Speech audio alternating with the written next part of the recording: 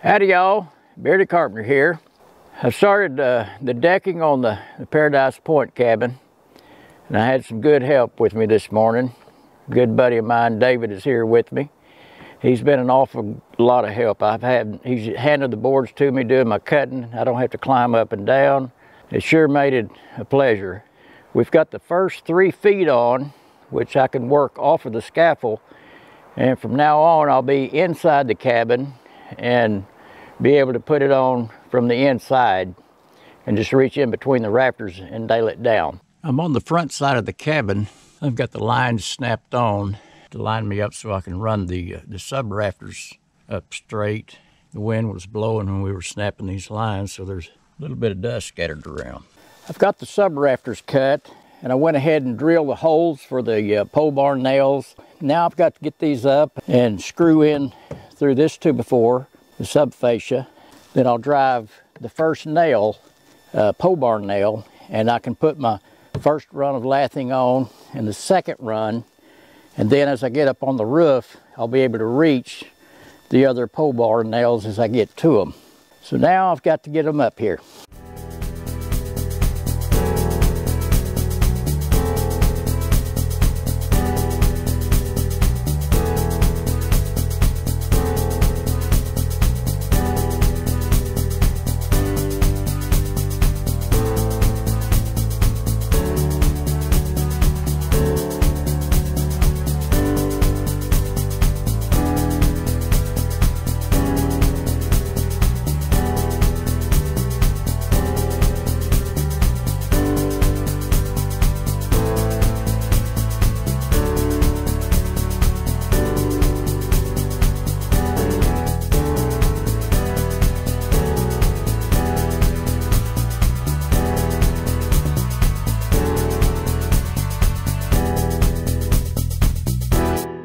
Have the decking on, the tongue and groove V-edge, one, one by six.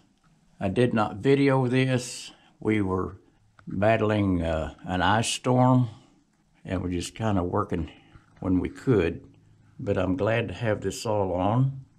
You can see the, uh, the blocks that are in between the rafters and the little groove right here. I think this makes for a beautiful ceiling. We have the framework for the sub rafters and the lathing up. We finished this up Saturday and it was a cold, cold, cold morning. And when I got to the ridge, the wind was blowing across there and just about cut me in two. It was cold.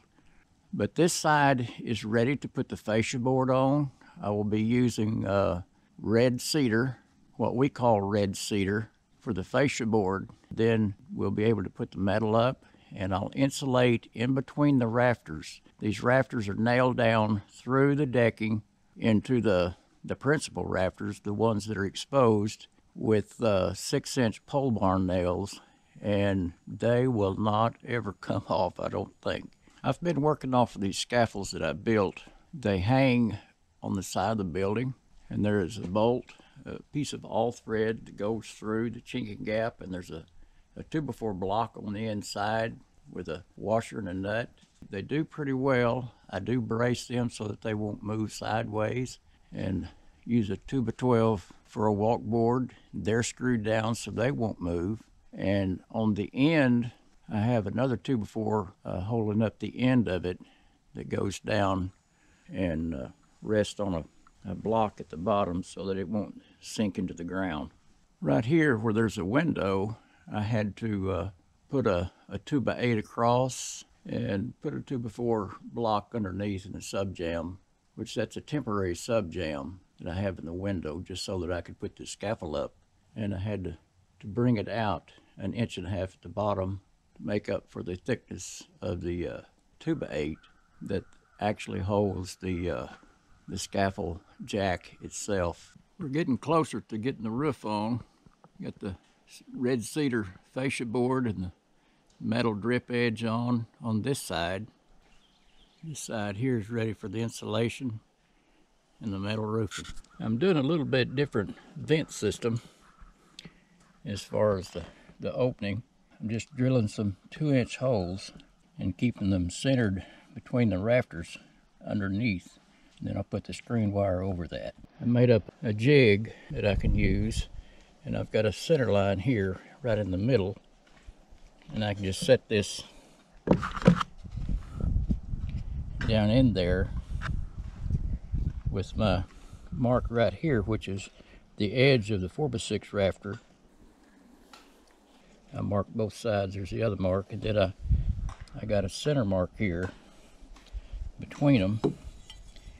And I just put my a speed square and line those marks up and put a, a screw in it here and here then I can just drill this right out. I just have a it's just a cheap hole saw that I've chucked up in my drill. And it works pretty good. Get those cut out.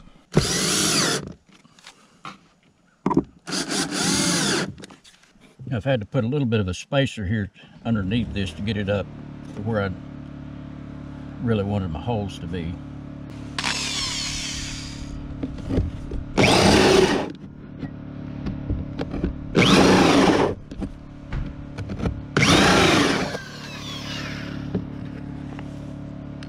Make a first cut there to get rid of the tar paper.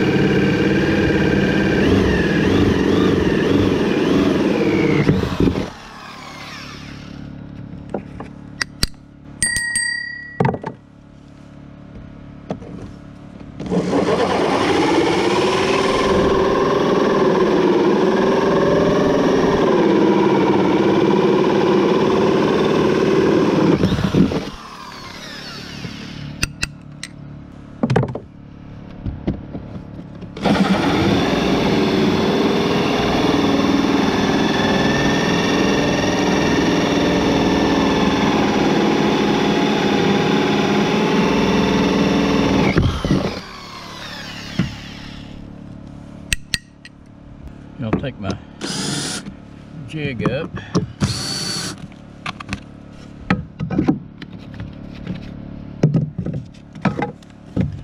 Then I'll come back and I'll staple uh, a strip of screen wire over over each of these, well, over the whole thing, but uh, I'll staple up around the, the hole so it stays snug there. We've got the metal up here on the sawhorses with boards underneath and what we've done is laid out where all the lathing two by fours are. And I went ahead and pre-drilled a hole, make it easier to start a screw. When you're up on the roof, you want everything to your advantage. So we've got this all laid out, all this, the holes drilled where the screws will go, and that'll make it a lot easier for us. We've got five sheets stacked up here, and I've clamped them to where they don't slide when I drill the hole. So I drilled five. The, the first sheet is drilled a little differently. This first hole that will be uh, for, for the first screw will be actually further over so that it doesn't run right straight into the fascia board. We'll be getting into the lathing with the first screw on the other, the very first sheet. This hole is actually over here.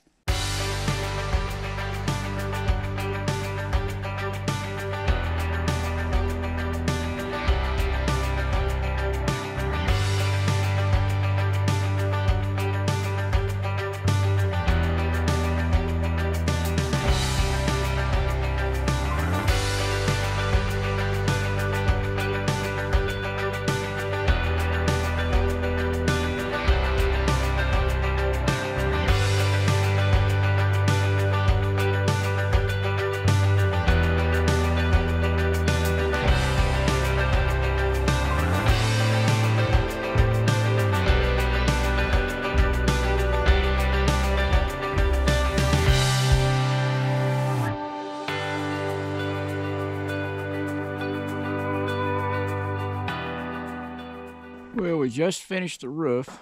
Just got through screwing the ridge cap on all the way down. I'm so glad to have this done. We'll walk around and look at the other side. We're through with this scaffold now, so we can take it down. I'm not going to do it today, but it will come down. It's the vent holes with screen wire stapled on top of it to allow airflow up and over the insulation underneath the, the roof.